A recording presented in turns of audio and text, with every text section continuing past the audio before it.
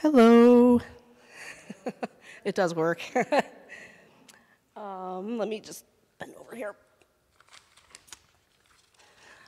Uh, so this program is being live streamed. A special thank you to our live stream sponsor, WGLT, Bloomington Normals Public Media, part of the NPR network. Hello and welcome to our program, um, Untold African American Stories, Eva Carroll Monroe and the Lincoln Colored Home. Um, this is an Illinois Humanities Road Scholars Speakers Bureau event, um, and it's being hosted also by the Bloomington Public Library and the McLean County Museum of History. Uh, the mission of the Illinois Humanities is to activate the humanities through free public programs, grants, and educational opportunities that foster reflection, spark conversation, build community, and strengthen civic engagement throughout the state. Our Road Scholars Speakers Bureau supports that mission by inviting Illinois authors, artists, and scholars to share their expertise and enthusiasm with people and communities throughout our state. After this event, we hope you'll complete the audience feedback survey, which will help us as we plan our future programs and seek support for our work. Um, that is also available online. We're going to post it in the chat box, and we're going to put it in the uh, program description on our YouTube channel. Um, to learn more about the Road Scholars presentations, our other programs, and our grant opportunities, please visit ilhumanities.org. We hope you enjoy this presentation. I'd like to present Mary Frances as our presenter.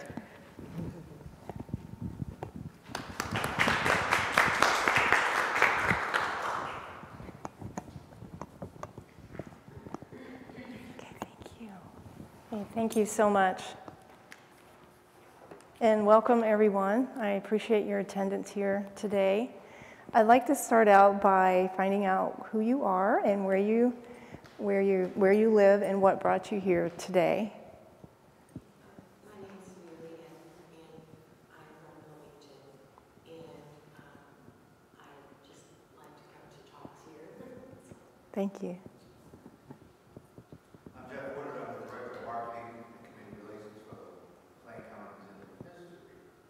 And I'm also doing some work with uh, Group History in Springfield. Mm. And uh, I'd like to get into the meeting. Oh, thank you. Teacher. Do, that's right, you do. That's wonderful. Thank you.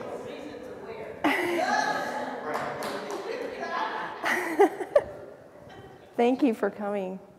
My name is Linda Fox, I'm the president of the NAACP, National Association of African Colored People in our community. And uh, what brings me here, everything brings me here. Uh, Information, and just learning more about history, and especially about black history. So appreciate your efforts in this and bringing a lot of attention to it. Thank you. Are you the president of the NAACP in Bloomington? Yes, I am. Okay, great. Thank you. Um, my name is Tammy Turner, I live in Noble, and, uh, I just have the, uh, love of African American history, and I saw that, and I thought, oh my goodness, color, I didn't think about, well, we talk about everybody else, but, I mean, we just, I, it's interesting in the subject, so I just went to learn. All right, thank you. Thank you for coming. My name is Laura. I'm from Mexico and I am living in Springfield. And I am here because I love to learn from Mary and I use my friend. Thank you. Thank you, Laura. I'm Kathy Coaston Anderson, and I live in Bloomington, and I love history, and this was a piece I didn't know anything about. Thank you. David Anderson, I'm a retired philosophy professor, and the last five or six years trying to make up for a lifetime of not doing the reading and studying, but being involved in racial reconciliation. Thank you. I'm glad you're here. Thank you. Hi everyone, I'm Maria Mears. I'm the Director of Adult Education here at the Humanities Ministry. And then- Uh, I'm Sarah Ingalls, I'm the local history librarian at the Bloomington Public Library. I'm Tori Moray, uh, Curator of People Humanities, just running the live stream. All right. Thank you so much. So, this is my book for those of you who haven't seen it yet. And it is for sale downstairs on the ground floor, and I will do a book signing after the presentation if any of you are interested in buying it. And today I'm going to talk about three different things. And the first thing is three photos in my book that are related to the Lincoln Color Home and Eva Carroll Monroe. And the second thing is I'm going to give information about Kewanee, Illinois. And it's going to be based on a documentary film I made, again, about the Lincoln Colored Home. And then third, I'm going to give you more in-depth information about the Lincoln Colored Home um, in Springfield. Now, has anyone actually, I know you've been to the home, right? Is it? Yes, Okay, has anyone else actually seen the house? Outside, just one person? Okay, great.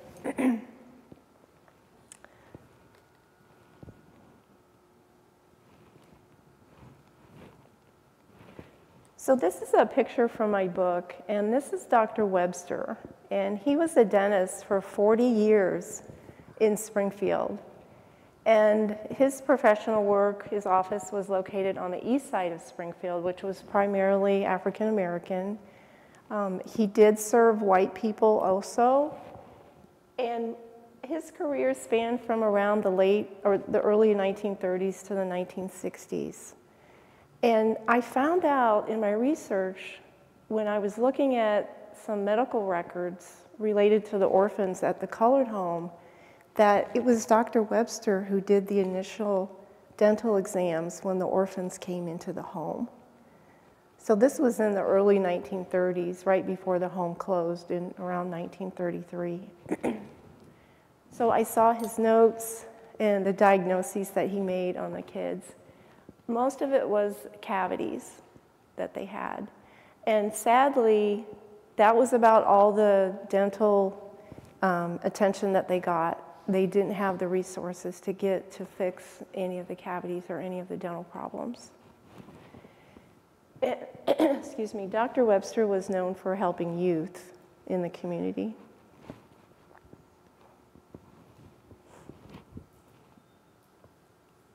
And this is Charles Grandy, and he was a Civil War veteran. And Mr. Grandy was dedicated to the Grand Army of the Republic, which is the GAR, which was formed right after the Civil War ended. And he would travel to their annual encampments in different places throughout the United States. And this picture was taken I think around 1939, and he would have been around 98 years old. Yeah, so he was, he was traveling for a long time. He was, he was stationed in Norfolk, Virginia, which was his home at the time he died. And we didn't know anything about Mr. Grandy, so I got most of my information from all these medals here on his jacket.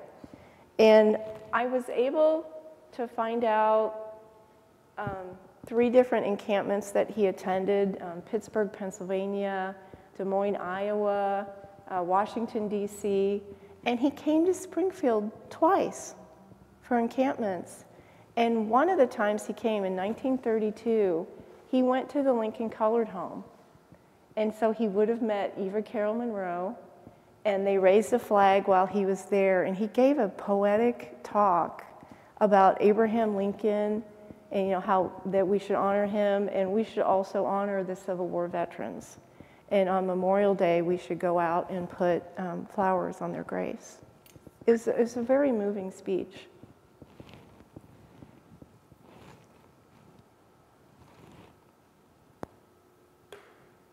This is James Lewis. And he was from Chicago, and he was another Civil War veteran. He joined in 1863. And when he got out of the Civil War, he went back to his home in Chicago and he enrolled in a law school, which is now Northwestern University College of Law. And he received a law degree. But he too was devoted to the Grand Army of the Republic, and he would travel and um, go to the different encampments throughout the country. I'm not sure where this picture was taken. I want to say it was Springfield. I wish it was. I'm not sure if he, uh, if he went to the Lincoln Colored Home or not. But the reason I have him here is that Eva Carroll Monroe mentions him in a talk that she gave, and she wanted to name a post after him in Decatur. She was going to create a new post for the, um, the Women's Relief Corps, and name it after James Lewis. So that's his connection. Now, unfortunately, I could not include an actual photo of the Lincoln Colored Home in my book. I wanted to. And the Dana Thomas house has an original photo of an elderly black woman standing behind the Lincoln Colored Home. It's an old black and white photo, but I could not get permission to use it. So I don't have any actual pictures of the home in my book.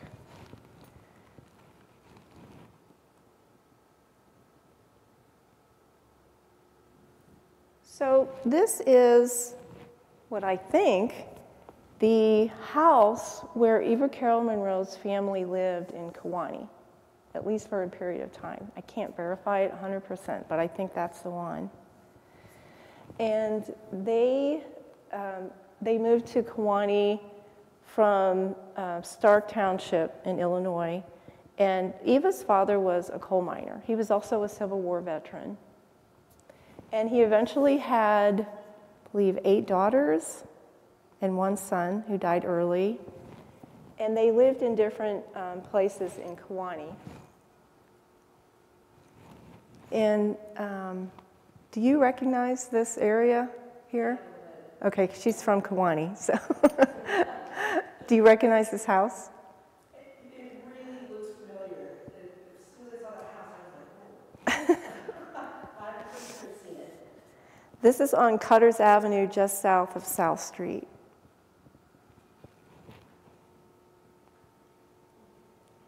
So I believe that Eva and her siblings would have attended Irving School in Kewanee, and this doesn't still stand, does it? Uh, It's still there, okay. Okay. Now, if they attended school, and I'm saying if because legally around that time in the 1870s, there was a time when they weren't legally allowed to go to white schools, but I think it was around 1874 they passed a law in Illinois where it became the schools became integrated, and Eva and her siblings would have been able to go to a white school.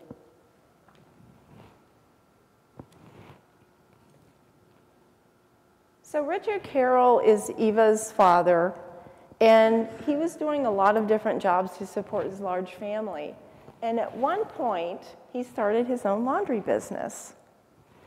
And it was located, um, I believe it was located in his house, but he would do laundry and advertise it at Staples Shoe Store in downtown Kewanee. And amazingly, this says Staples right here. So this is the actual shoe store where he would have been advertising the laundry. So this is an original photo of Kewanee. Does this look familiar at all to you? okay.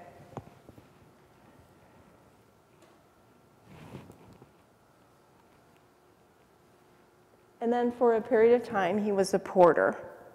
And a porter is someone who handles uh, luggage and so forth for people at a hotel. So this was the Kewanee House Hotel. Is this still there? It's, a- well, we do have a hotel, it's different. It's not the same. Okay, Same, right around the same okay. So that was pretty much the life in Kewanee. There was some moving around, um, establishing his family, and then eventually they moved to Macomb, Illinois.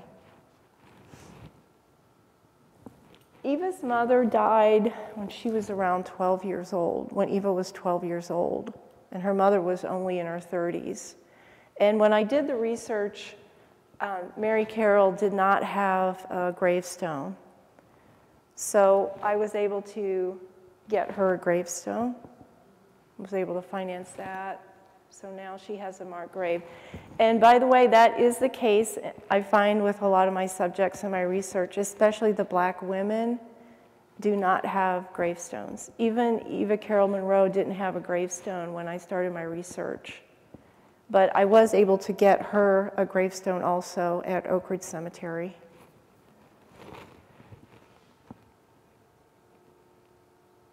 Now, Eva's father, Richard Carroll, did have a gravestone because he was a Civil War veteran, and the federal government provided those stones for free for veterans.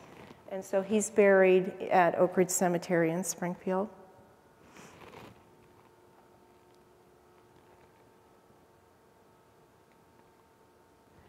So after Eva's mother died, um, her father remarried a couple years later when she was probably about 14. And then about two years went by when she had a stepmother, and she herself married when she was around 16 or 17. And this is the marriage certificate. She married a man named Emmett Trice. So conceivably, she probably left home around the age of 16 or 17 with about seven younger siblings still at home. Now, Eva had one daughter. She had one child that I know of, and her name was Beatrice. And Beatrice had, uh, I would say, a, a, kind of a troubled childhood. She was involved with drugs and uh, stealing. And eventually, Eva sent her to a girls' reformatory school in Geneva, Illinois. And at that time, it was an extremely rough place to be. There were uh, torture allegations against the white female director of the school, who eventually had to resign. But Beatrice made it out of there, and she went to Milwaukee, and she got a marriage license to marry a white man. Now, can you imagine what happened when she tried to do this? Was in the 1920s in Milwaukee when the KKK was at its peak, especially in Milwaukee. Okay, so So Friday night before the wedding, the KKK placed a cross at her fiance's house and at Beatrice's house, and they lit them both at the same time and burned the crosses. And this was actually a huge event for the KKK. It ended up attracting 800 people for a rally that same evening and they had uh, a national KKK director come to the meeting. They brought in new members that evening. They had prominent people from the community speak at the meeting pastors, insurance brokers. Yeah, it was pretty bad. So, can you guess what happened to that marriage? The marriage license? Yeah, it didn't happen. It did not as tough as Beatrice was, she, they did not follow through on that one. And these rallies took place in, in Milwaukee? Mm-hmm. And in the previous um, newspaper article, it said, seemed to suggest that um, a Do you have the Do you have the microphone that he can? Yeah, just so they can hear your question on the live stream. Yeah, the live stream needs it. Yeah.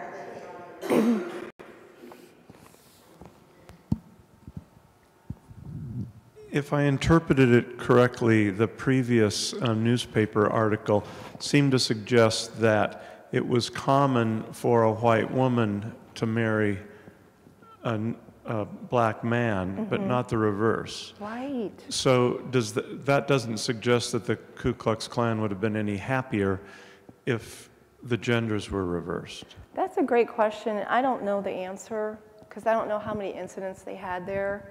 But this was the first license for a black woman trying to marry a white man in, in Milwaukee. Yeah.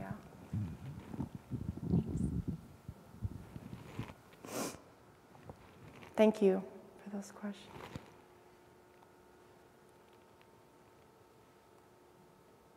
All right, so now I'm just going to move on to the Lincoln Colored Home.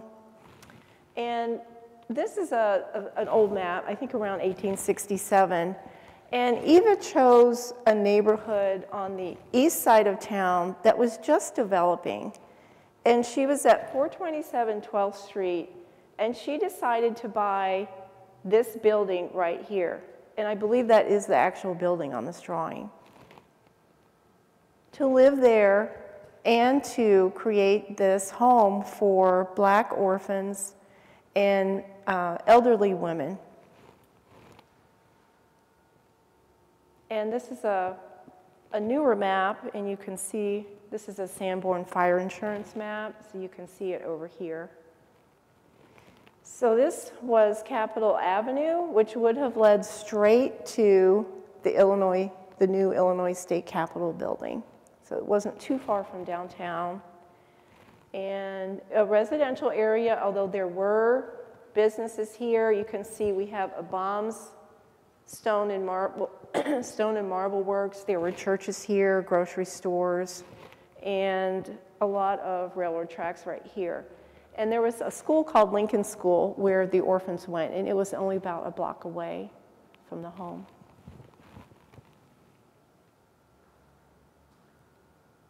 And this is Lincoln School, where the children would have went. And this is a church about a block away. And this is the stoneworks.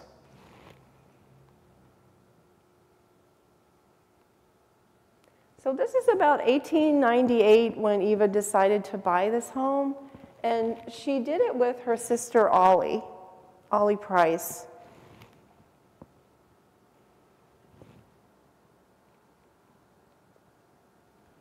So not only did Eva start the first home for black orphans in Illinois, she also became the first black probation officer in Sangamon County. Now, these two roles that she had as matron of the home and as a probation officer were complementary, but they were also um, very different. So you can imagine being in this home trying to help these children and nurture them, but also having the role of the probation officer who has to sort of police them and send them to jail or send them to a juvenile detention center. And she was also living at the home. So she was wearing a lot of different hats at that time, which would never happen nowadays with all the laws we have. You know, you would never be able to do all that together. And these are just some examples of children that Eva was dealing with, saying they were incorrigible and recommending that they be sent to a detention center. And one of them was for stealing money. And also, at that time, homelessness was a crime. So, seeing a child on the street without a home, she had the ability to put them somewhere.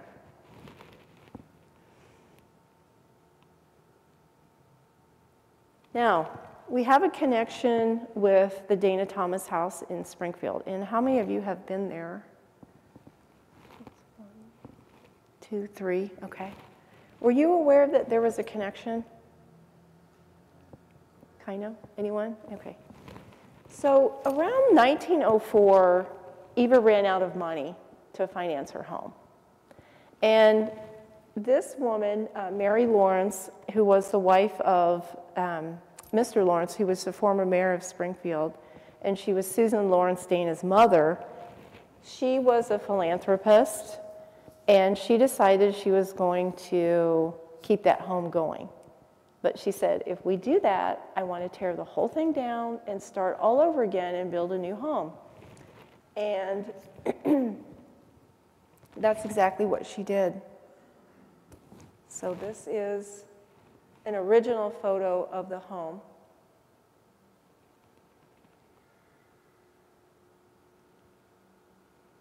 It's a color photo of the home. This is pretty much what it looks like today. They laid the cornerstone in 1904 for this, which is the same year that the Dana Thomas House was completed. Now, this is Lawrence Adult Center, which has a Frank Lloyd Wright library inside it. And Frank Lloyd Wright actually designed the library in there, and they used extra bricks from this building at that same time, 1904, to build the Lincoln Colored Home. And this was the original home that sat where the, the Dana Thomas house now sits. And this was the Lawrence's home. And Mary decided she was going to take the furniture out of the home and put it in the Lincoln Colored home because they were going to get rid of most of this building. And there is the cornerstone you can see in 1904. The cornerstone is no, no longer there. The owners removed it because they were afraid of vandalism. Some close ups of the brickwork. Whoops. The wooden doors are original.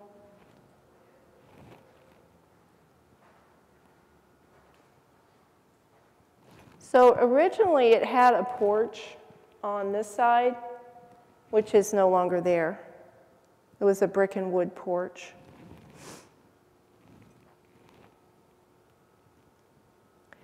I was not allowed to go inside the house when I was doing my research, so I had to rely on very few pictures of the inside of the house that I got permission to use. And so you can see the, the beautiful staircase. It had electricity.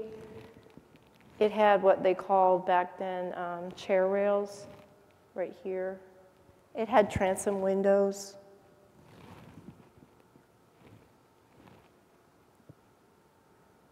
And here you can see the first floor.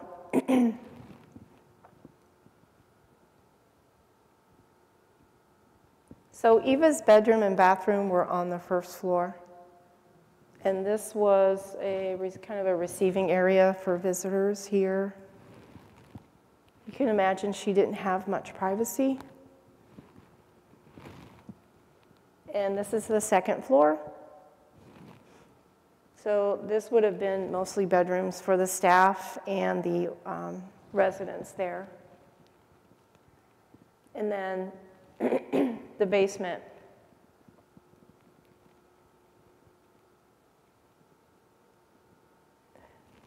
So in the beginning, Eva had to travel to find people to live at the home because it was a new home. People didn't know about it. And she used the railroads. There was an extensive um, network of railroads around Springfield. And she went to Decatur, Joliet, um, Jacksonville. She went to uh, places in Iowa, Davenport, that she had lived before. And here we have by 1910, you can see these are the people that she had at the home. And she's listed as matron at the age of 42. She has an assistant matron, age 61, and she has a widow here, 93 years old, and she has some, uh, wow, she has a lot of widows here. One, two, three, four. She has six widows. She's listing herself as a widow because she remarried and she became widowed. And then you can see the breakdown of children. So we have the orphan names, the people who were at the home. Now, this is the only letter, original letter, actual letter, document that I found that was written by Eva. And it's all in her handwriting, and this is from the Dana Thomas House Foundation. And they gave me permission to use it. And this is just an amazing letter that I would love to read to you. And it says, and this is to um, Susan Lawrence. dear, my dear Mrs. Susan Lawrence Jorgendahl, oh, you great big beautiful doll. Your announcement came as I was not much surprised. Glad to welcome a new member to our home board. Came home last week, and sister, some better, all my charge are well, and pray for your safe return again. By charge, she means the children at the home. I, it's like dear grandma often said, I had a presentiment of your change now that you are happy, because she just, Susan Lawrence had just gotten married. May you and your husband be spared to enjoy the Christ blessing from heaven. Hurting as you doing at any time, I can't, I can't read the whole thing. And may the same true friendship ever be cemented with love until we cross the bar of justice, there free from the cares of this busy life and may our life's work shine as brilliant as yours, loved and cherished by all whom your kind and loving hands have aided, like our sainted mother you are to us. Now be happy twice in God's name. I bid you a happy, a long, happy life full of sunshine. Yours, Eva. And we have a original picture of the home there, too. This is a young Eva original photo. So eventually, the home was under investigation and under scrutiny because of the social service culture in the United States. They started to go from institutionalizing orphans to wanting to put them in foster care. And so there were, all, there were a lot of different allegations against her to get the home shut down, and she had to deal with a lot. However, the governor went to visit the home, and he thought it was doing great. Here, um, Eva is denying allegations that Southerners were coming to the home to give birth to their biracial babies. They accused, uh, that, was, that was a common accusation, that white women would go there because they had um, biracial baby to keep it secret. Now, this is another letter that the Dana Thomas House Foundation had, written by Susan Lawrence, complaining about Eva. And th this is another amazing letter because it shines a light on the relationship between this wealthy socialite white woman, Susan Lawrence, and Eva Carroll Monroe. And she was accusing Eva of not helping her own race, um, of wanting to be taken care of, and so forth. So, 1920, you can see that Eva Monroe is here at age uh, 51. And these are all orphans. They called them inmates back then. Not because it, back then, if you were in an institution like a hospital or a school, they, called, they just called you an inmate. It had a different meaning then. So she had a lot of children there. So this is a very um, wealthy woman. She was the wife of a railroad magnate, and she, she did a, a study. And she was another person who was trying to shut the home down. She's saying it was, it was, um, it was outdated, the staff were underpaid, it wasn't sanitary, so it got a bad review from her. Nevertheless, Look how many people she's still serving in 1930. This is three years before the home closed. So obviously, there was still a need for what she was doing. and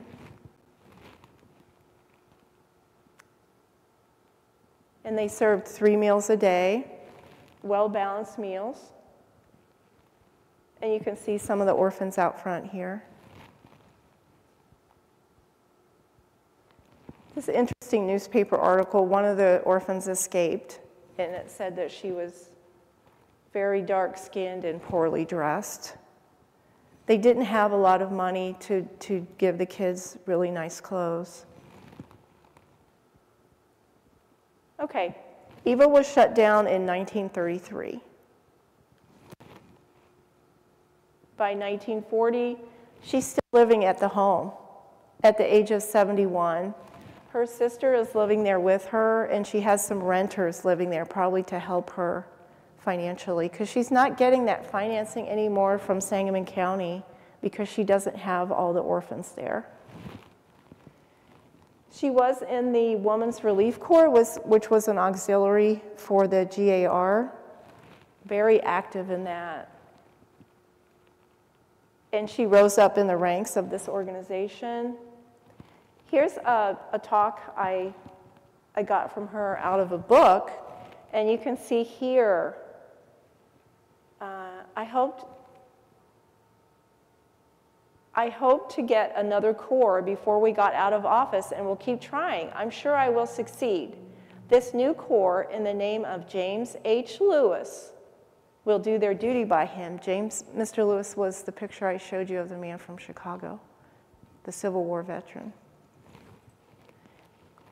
And this talk uh, sheds light on Eva's ideas about race relations between white and black people and if you read it, she's saying white and black people need to work together.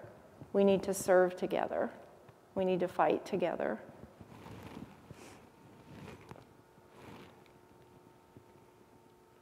She was also instrumental in the National Association of Colored Women's Clubs. And I believe she joined this around the age of 19. And part of their mission was to lift, lift up the black race and help the black race. And I think that was part of the reason she started the home. So Eva was about a block away from her home one day on the corner, and it was winter, and two cars collided, and one of them hit her, and she got a head injury. And she stayed at St. John's Hospital for almost the next seven years as an invalid. Her sister Ollie took care of her. And then she died in uh, Quincy at a nursing home.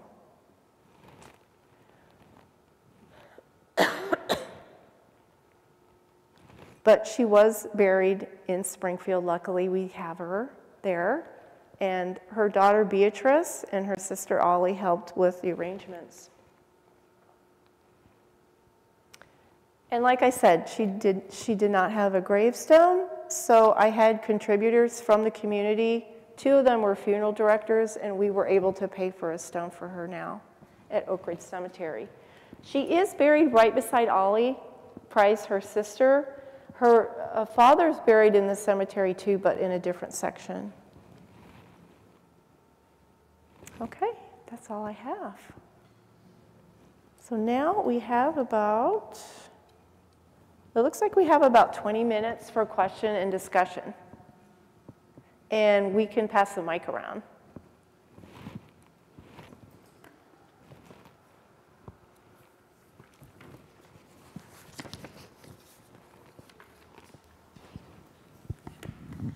I'm wondering if there was at the same time any orphanages in Springfield for, for white children, and was her orphanage looked at with a different standard.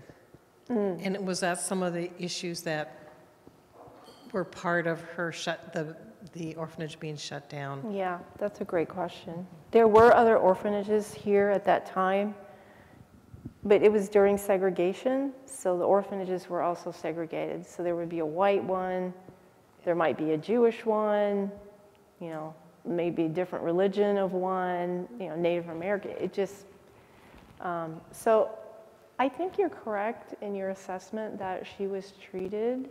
She was maybe not getting the same treatment as the other ones, the same resources, Yeah. the same confidence, you know. So, yeah, we agree. But it also was a time in, it was a transitional time when they were going from institutionalizing children to try to putting them in foster care or paying the mothers to keep them at home with government assistance. Yeah. Yeah.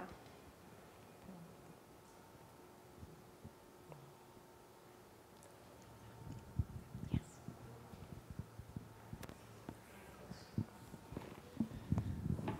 I had a question. Now, these children, were they like orphan, orphan, or were they like delinquents? How did she come across these children? That's a great question. So, a lot of it was because the parents simply could not afford to keep their children. So, you would see children there who had parents right there in Springfield who would visit them, but they couldn't keep them. Yeah, that was, that was one of the big things. Yeah, and some of them were just on the street because, for, for whatever reasons, they, they truly were homeless. Yeah. Or they were just coming out of a juvenile detention center and they didn't have a home to go to. And some of them stayed with her for like 13 years. Some of them stayed there a long time, although she did try to place them. She really did try to place them, but you can imagine how hard it was for just her to be doing all the. yeah. Yeah.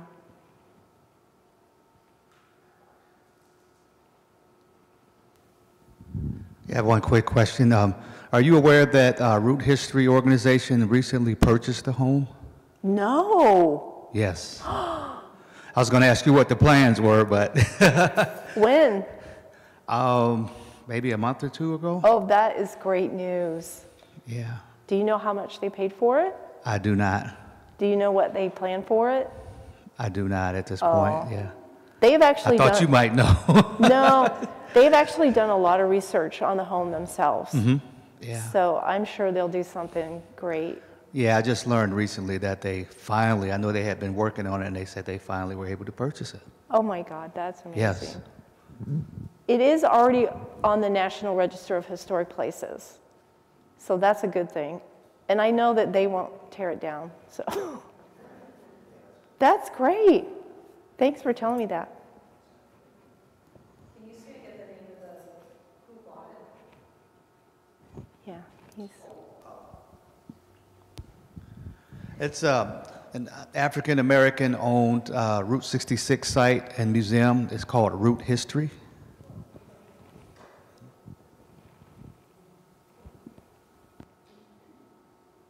We were thinking for a while that the National Park Service would buy it and kind of incorporate it into this Black History corridor on the east side there, but that was just taking forever. Yeah.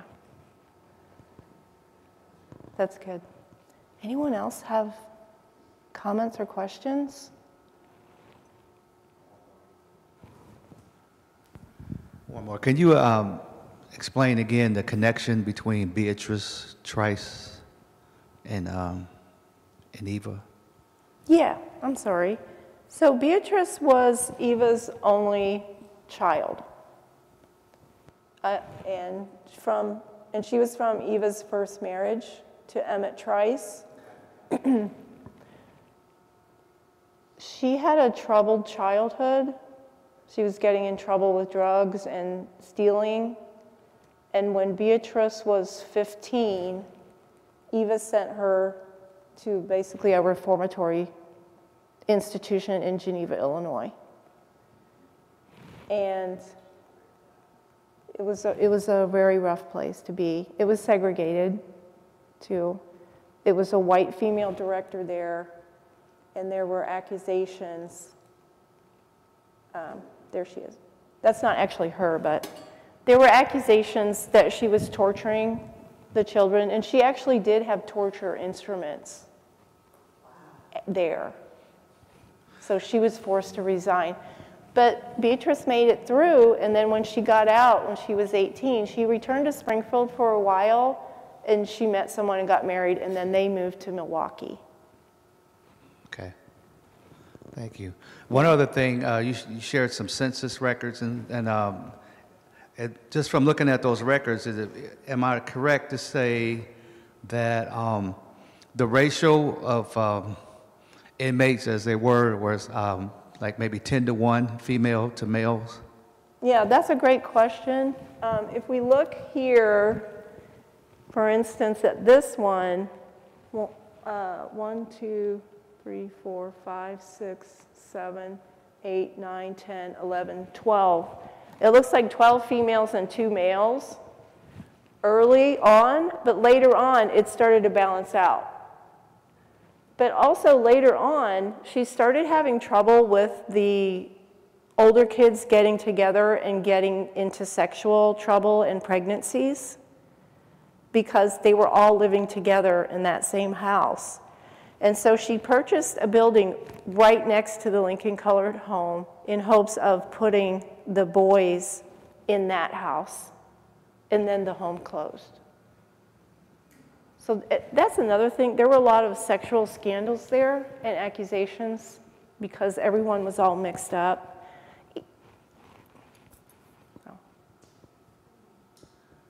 Yeah.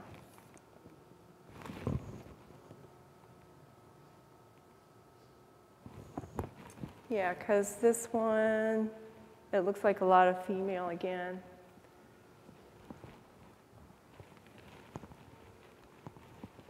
Now, 1930, we have more males.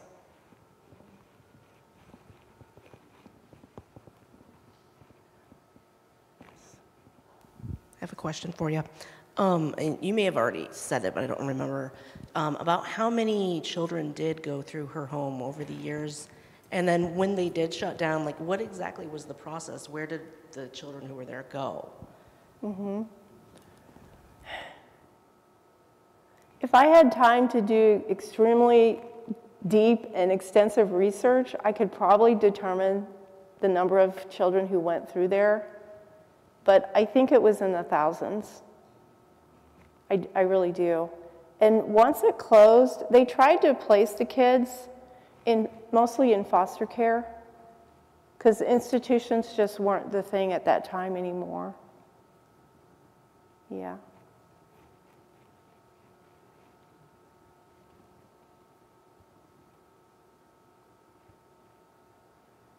Anyone else?